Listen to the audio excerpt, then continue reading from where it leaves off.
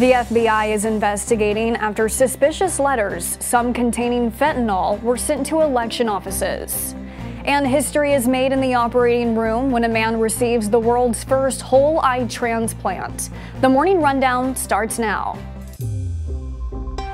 From the Straight Arrow News Studio, bringing the stories that matter to you from across the United States and around the world. This is the Morning Rundown. Today is Friday, November 10th. Thank you for joining us. I'm Karah Rucker. Federal officials are investigating after several suspicious letters, some containing the opioid fentanyl, were sent to election offices in at least five states this week.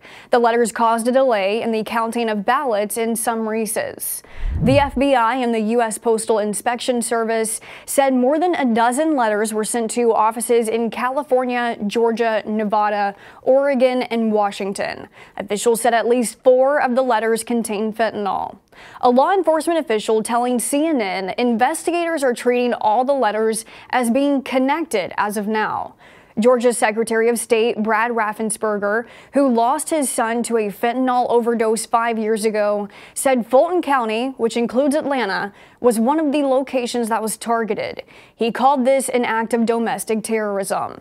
A White House spokeswoman said the Biden administration was aware of the FBI's investigation, adding they are, quote, grateful for the election and poll workers who served this week to ensure the security of our democratic process. U.S. forces were the target of three attacks in Iraq on Thursday, U.S. military sources tell Reuters.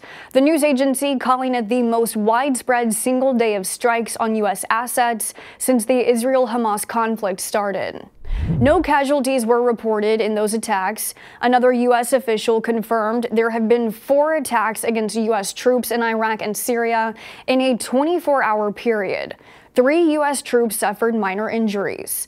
In one incident, military officials say a U.S. led coalition convoy was targeted by an IED. In another, a one way drone launched against U.S. and coalition forces in an airbase near Baghdad was shot down. Since early October, U.S. and coalition troops have been attacked at least 40 times in Iraq and Syria, with at least 56 U.S. personnel being injured. The U.S. blames these attacks on Iranian backed groups, a claim Iran denies. Also on Thursday, the White House announced Israel has agreed to implement four hour daily humanitarian pauses in northern Gaza. The pauses will help Gaza civilians to flee the fighting through two corridors.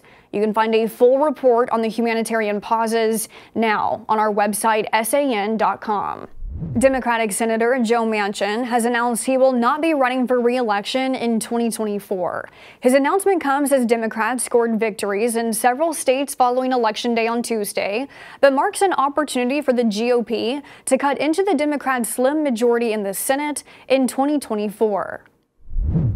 I believe in my heart of hearts that I have accomplished what I set out to do for West Virginia. I have made one of the toughest decisions of my life and decided that I will not be running for reelection to the United States Senate. West Virginia is a state that would vote blue reliably but has flipped red in recent years. The coal country state was one of former President Donald Trump's most loyal, and Manchin has been the only Democrat to be elected to statewide office there in recent years. Manchin's announcement also indicates his political career may not be over. In recent months, he has hinted at a potential 2024 presidential bid running as an independent, but the senator has not announced anything official. The Associated Press reporting that a draft committee is pushing for Mitt Romney and Joe Manchin to team up for the 2024 presidential election. Romney recently announced he's stepping away from the Senate, citing his age. General Motors self-driving division Cruise announced a round of layoffs on Thursday, according to CNBC, just days after the company said it was recalling 950 of its autonomous vehicles for a software update. The cuts include contract workers who help with cleaning vehicles and fielding customer support questions. GM issued the recall of the robo taxis earlier this week following a driverless car dragging a pedestrian in San Francisco after the victim had already been struck by another driver. Following the October 2nd crash, California regulators found cruise cars posed a danger to public safety and suspended its deployment and testing permits in the state. U.S. regulators are also investigating Cruise following other pedestrian injuries. With the software update, GM says cruise vehicles will remain stationary should an incident like the October crash occur in the future.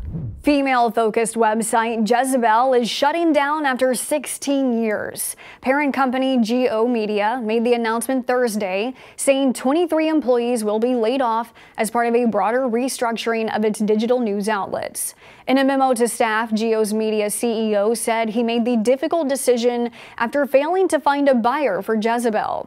The company, which also owns sites like Gizmodo and Deadspin, laid off 13 employees back in June.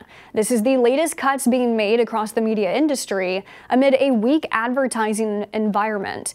Vice Media announced Thursday it is shutting down several shows and laying off dozens of its staffers. Finally, this morning, we want you to meet a man named Aaron James, the recipient of the world's first whole eye transplant.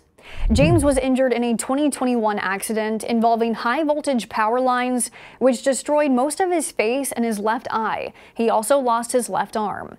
After multiple reconstructive surgeries, he underwent the 21 hour historic eye and face transplant in May. On Thursday, surgeons at NYU announced James is recovering well, though it's too early to tell if he'll ever be able to see out of the donated eye.